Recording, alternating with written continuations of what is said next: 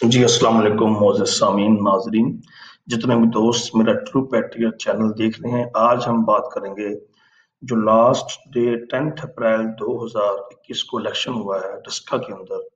जिमनी election इसके ऊपर आपको बताते हैं कि ये इलेक्शन एक माह पहले तकरीबन हुआ था, वहाँ पर कत्ल करी की वजह से और कुछ पंजाब हुकूमत की नाअहली की वजह से कुछ धांधली हुई थी, जिसकी वजह से इलेक्शन कमीशन ने वहाँ री इलेक्शन का ऑर्डर दिया, फिर सुप्रीम कोर्ट में गए पीटीआई के लिए असद मलिक और सुप्रीम कोर्ट ने भी री इलेक्शन का हुक्म दिया। तो जिसकी वजह से 10 अप्रैल 2021 को दोबारा इलेक्शन हुआ। अली असजद फ्रॉम पाकिस्तान तरीके इंसाफ और नसीन शाह फ्रॉम पाकिस्तान मुस्लिम लीग नवाज़। ये सीट खाली हुई थी सैयद इफ्तार हसन शाह साहब की वफात की वजह से वो सिटिंग एम थे, नून लीग के, वो जीते हुए थे। अली अजद मलिक उन्होंने हराया हुआ था। तो नाजिन आपको ले चलते हैं सलके की हिस्ट्री की तरफ़। सन 2002 में ये सीट अली अजद मलिक साहब ने जीती थी। उस वक्त ये पाकिस्तान मुस्लिम लीग काफ में थे, पचास हज़ार पाँच सौ बानवे वोट के साथ। और सन 2008 के इलेक्शन में ये सीट जीती थी पाकिस्तान मुस्लिम लीग नवाज़ के सैयद मुर्तजा अमीन सतर हज़ार आठ सौ उन्नीस वोटों के साथ।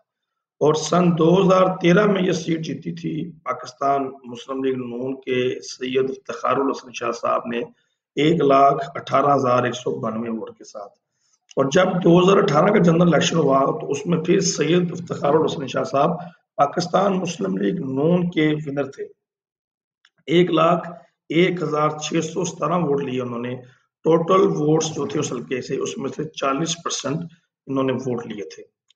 रिश्वतियों की। और जो अब इलेक्शन हुआ है, उसमें उस 2018 में अली हसन मली साहब ने लिए हैं इकसठ हज़ार चार सौ बत्तीस वोट। चौबीस अशारिया अट्ठाईस परसेंटेज नुमाइंदगी मिली थी इनको डस्का से। और एक आज़ाद उम्मीदवार थे उस्मान आबिद साहब सतावन हज़ार पाँच सौ इकहत्तर वोट लिए थे उन्होंने बाईस अशारिया पचहत्तर फ़ीसद इनकी नुमाइंदगी थी। तो on the whole Muslim League Noon ने सीट जीती थी कम बेस चालीस हज़ार के वोटों के मार्जिन के साथ। तो अब जब दोबारा इलेक्शन हुआ है मौजूद सामीन तो उसमें मोहतरमा नशीन शाह साहबा ने वोट लिए हैं एक लाख ग्यारह हज़ार दो सौ बीस वोट और अली असजद मलिक साहब ने वोट लिए हैं बानवे हज़ार उन्नीस वोट। अगर अब हम कंपैरिजन करें, सीट तो बेशक नून लीग ये 2008 से गुजशत दस साल से ये सीट जीतती चली आ रही है।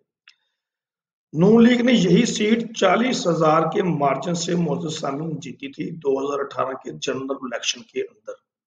और यही सीट नून लीग जीत रही है उन्नीस हज़ार के मार्जिन से। नून लीग का विनिंग मार्जिन उन्नीस फिफ्टी परसेंट कम हो गया है।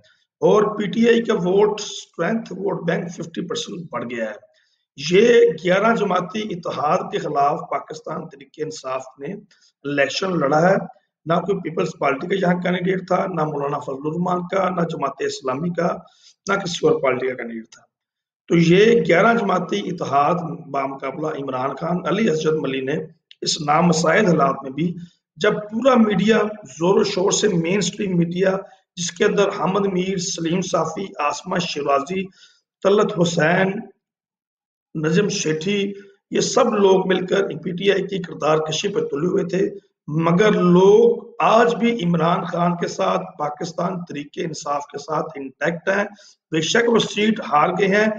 विनिंग मार्जिन सामीन कम हो गया नून लीग का। ये बात नहीं है मैं ये जीत मुबारक को नशीन शाह साहब को हार तो एक वोट से भी हार होती है। मगर मेरा जो मुद्दा है, वो ये है कि इमरान खान का वोट बैंक इंटैक्ट है। और इमरान खान साहब को अपनी पॉलिसीज़ बेहतर करनी होंगी, खासतौर पर पंजाब के अंदर। महँगाई को कंट्रोल करना होगा और अपने जो एडमिनिस्ट्रेटिव स्किल्स हैं एडमिनिस्ट्रेटिव फेलियर्स हैं, उनको दूर करना होगा।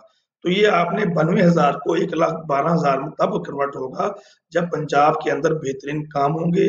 जैसे सियालकोट के अंदर एक अच्छा पैकेज दे के आए हैं, इमरान खान साहब और बुजदार साहब। तो उस पैकेज को आपने इंप्लीमेंट करना होगा। जब पैकेज आपका इंप्लीमेंट होगा तो डेफिनेटली आपका वोट बैंक बढ़ेगा। शुक्रिया वीडियो देखते रहें। वीडियो पसंद आए तो लाइक करें और आपके कमेंट्स का इंतज़ार रहेगा। शुक्रिया। या हयो या कहो